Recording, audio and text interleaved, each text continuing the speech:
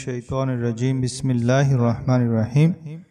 প্রিয় বন্ধুরা, আজ আমি হাদিস শরীফের আলোকে যে ছোট্ট আমলটি বলব, যে হাদিসখানা চল্লিশ জন সাহাবি থেকে বর্ণিত হয়েছে। এই আমলটি রাতে উঠে করার সঙ্গে সঙ্গে আপনার সব দোয়া কবুল হবে ইনশাল্লাহ সে অতি মূল্যবান আমলটি কীভাবে করবেন, রাতের কোন সময় উঠে করবেন আমলটি করার আগে ঘুম থেকে উঠেই আমাদের প্রিয় নবীজি একটি দোয়া শিক্ষা দিয়েছেন, সেটা কি? বিস্তারিত জানার জন্য সম্পূর্ণ আলোচনাটি শোনার অনুরোধ রইল।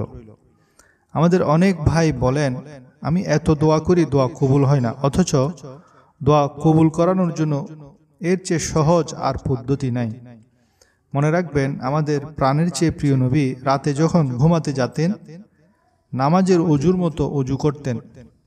এরপর ডান পাশের উপর ঘুমাতেন এবং এই দোয়াটি পড়তেন, আল্লাহুম্মা আসলাম তু নাফসি ইলাইক ওয়াজ্জাহাতু ওয়াজহি ইলাইক ওয়াফাওয়াদ্তু আমরি ইলাইক, ওয়া আলজাআতু জাহরি ইলাইক, রাগাবাতান ওয়া রাহবাতান ইলাইক, লা মালজাআ ওয়া লা মানজাআ মিনকা ইল্লা ইলাইক, আমানতু বিকিতাবিকাল্লাযী আনজালতা ওয়ানবীকাল্লাজি আরসালতা বাংলা উচ্চারণ হল আল্লাহুম্মা আসলাম তু নাফসি ইলাইক ওয়াজ্জাহাতু ইলাইক ওয়াফাওয়াদ্তু আমরি ইলাইক ওয়া আলজাআতু জাহরি ইলাইক রাগাবাতান ওয়া রাহবাতান ইলাইক লা মালজাআ ওয়ালা মানজাআ মিনকা ইল্লা ইলাইক আমানতু বিকিতাবিল্লাজি আনজালতা ওয়াবিনবীকাল্লাজি আরসালতা অর্থাৎ হে আল্লাহ আমি আমার সত্তাকে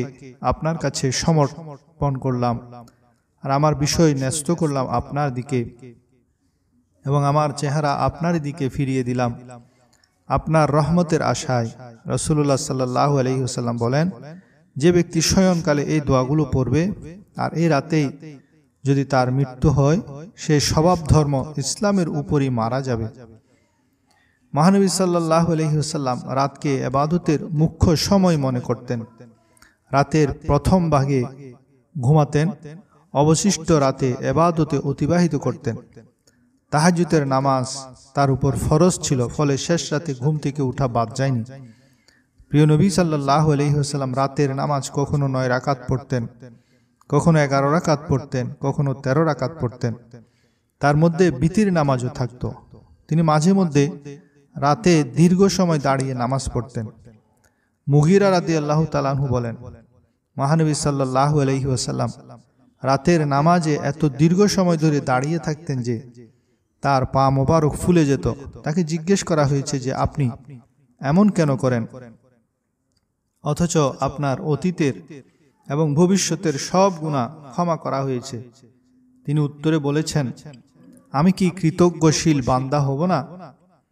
প্রিয় নবী করিম সাল্লাহ আলহিহাল্লাম বলেছেন, আল্লাহ তালার কাছে দাউদ আলহি এবাদত অধিক পছন্দনীয়। তিনি অর্ধ রজনী নিদ্রা যেতেন এবং রজনীর এক তৃতীয়াংশ নামাজে থাকতেন, আর কখনো রাতের এক ষষ্ঠাংশ নিদ্রা যেতেন। আবু উমামা রাদি আল্লাহ থেকে বর্ণিত, তিনি বলেন, এক সাহাবি রসুল্লাহ সাল্লাহ আলহি আসাল্লামকে জিজ্ঞেস করেন, হে আল্লাহ রসুল, কোন দোয়া অধিক শ্রবণ করা হয়? উত্তরে প্রিয় নবী সাল্লাহ আলহিহাল্লাম বলেন, শেষ রাতের দোয়া এবং ফরজ নামাজের পরের দোয়া। ওলামাইকারাম বলেন, রাতে তিনটি, দুই এখতিয়ার করবেন।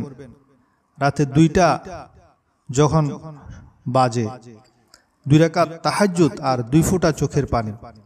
যদি আপনি এই তিনটি, দুই এখতিয়ার করতে পারেন, তাহলে রব্বে করিম সঙ্গে সঙ্গে বলবেন ফেরেস্তা দেখো, ওর কি কি লাগবে? সারাদিন মানুষ আল্লাহকে ডাকে আর ভোর রাতে আল্লাহ মানুষকে ডাকে। দিন ভর মানুষ চায়, হে আল্লাহ, আমাকে কিছু দিয়ে দেন। আর ভোর রাতে আল্লাহ ডাকে, আসো কি নিবে? আসো আমার খাজানা থেকে লুফে নিবে, কে কে আছো? আমার খাজানা থেকে মাগ ফেরাত নিবে, আমার খাজানা থেকে হেদায়েত নিবে, আমার খাজানা থেকে দুনিয়া নিবে, আমার খাজানা থেকে আখেরাত নিবে, আমার খাজানা থেকে সুস্থতা নিবে। আমার খাজানা থেকে মাল ও দৌলত নিবে, আমার খাজানা থেকে অভাব দূর করে নিবে। এভাবে রব্বে করিম ভোর রাতে এলান করেন। হাল মিম মুস্তাগফিরিন ফিরলা প্রতিদিন ভোর রাতে আল্লাহ তাআলা প্রথম আসমানে নিজের শান মোতাবেক অবতীর্ণ হন আর দুনিয়াবাসীকে এভাবে ডাকতে থাকেন, আছো কে মাফ চাইবার? আমি তোমাকে মাফ করে দিব। আছো? কেহ রিজিক তালাশ করার আমি রিজিক দেব। এ হাদিস চল্লিশ জন সাহাবি থেকে বর্ণিত। যারা আমার কথা শুনছেন, মনে রাখবেন, সমস্যা হাজার ধরনের, আর সমাধান আল্লাহ নিজের খাজানায় রেখে দিয়েছেন। সমস্যা আপনার গুনাহের কারণে, আর সমাধান রব্বে করিম নিজের খাজানায় রেখে দিয়েছেন। সুতরাং ভোর রাতে উঠে উজু করে অন্তত দুই রাকাত নামাজ পড়ে আল্লাহর কাছে চান, যা চাইবেন সব দিয়ে দিবেন। প্রিয় ভাইয়েরা, মাঝে মাঝে দিতে দেরি হয়, সেজন্য মানুষ হতাশ হয়ে যায়। কিন্তু দেরি হয় কেন? জানেন, আমাদের রব চান আপনি এভাবে আরও কিছুদিন কাঁদেন। তার কাছে দোয়া করেন, তার কাছে চান। তিনি জানেন, যদি আপনাকে প্রথম দিনেই দিয়ে দেন, সমাধান করে দেন, পরের দিন আর রাতে উঠে রবের কাছে চাইবেন না। রব্বুল আলমিন চান যে আপনি প্রতিদিন তার কাছে কাঁদেন, তার কাছে দোয়া করেন। কারণ আল্লাহ তালা বান্দা চাইলে দোয়া করলে বান্দা সে চাওয়াকে সেই দোয়াকে বেশি বেশি পছন্দ করেন। হাদিস শরীফে আছে, আল্লাহ তালা রাতের বেলা তার কুদরতি হাতকে প্রসারিত করে রাখেন। দিনে যারা গুণা করেছে তাদেরকে মাফ করে দেওয়ার জন্য। আর দিনের বেলা দুই হাতকে প্রসারিত করে রাখেন। রাতে যারা গুণা করেছেন তাদেরকে মাফ করে দেওয়ার জন্য। আর আল্লাহ তালা এলান করেন, হে বনি আদম, শুনো, যদি তোমার গুণাসমূহ দ্বারা জমিন থেকে আসমান পর্যন্ত ভরে যায়, তোমার গুনাহের কারণে যদি সূর্যের আলো মলিন হয়ে যায়, এরপর যদি একবার মাত্র বলো, হে রাব্বা, মাফ করে দিন। লা গাফার তুলাক আমি তোমাকে মাফ করে দিব। আমি তোমাকে মাফ করে দিলে কেউ আমাকে জিজ্ঞেস করার নাই।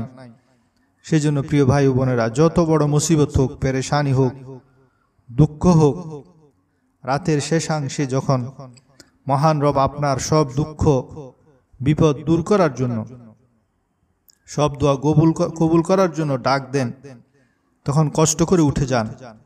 আর যতদিন আপনার সমস্যা সমাধান না হয়, প্রতিদিন এ আমল করতে থাকেন। অধৈর্য হবেন না, নিশ্চিত সমাধান হবেন। সমাধান হওয়ার পরও সেই সময়টাতে আল্লাহর রহমত তালাশ করুন। যাতে পরবর্তীতে আর কোনো বিপদ, মুসিবত না হয়। বুহারির হাদিস, প্রথমে রাত্রে চোখ খোলার পর অজুর আগে একটি দোয়া করে নেবেন। তাহলে অজুর পর যে নামাজ পড়বেন, যেই দোয়া করবেন আল্লাহ, সেই নামাজ সে দোয়া কবুল করবেন। দোয়াটি হলো, রাতে যখনই চোখ খুলবে, দোয়াটি পড়বেন, লা ইলাহা ইল্লাল্লাহু ওয়াহদাহু লা শারীকা লাহু। লাহুল মুলকু ওয়া লাহুল হামদু ওয়া হুয়া আলা কুল্লি শাইইন কাদির। সুবহানাল্লাহি ওয়াল হামদুলিল্লাহি ওয়া লা ইলাহা ইল্লাল্লাহু আল্লাহু আকবার ওয়া লা হাওলা ওয়া লা কুওয়াতা ইল্লা বিল্লাহিল আলিয়্যিল আযীম। এরপর অজু করে নামাজ পড়বেন, নিজ ভাষায় দোয়া করবেন। আল্লাহ আমাকে ও আপনাদেরকে আমল করার তৌফিক দান করুন, আমিন।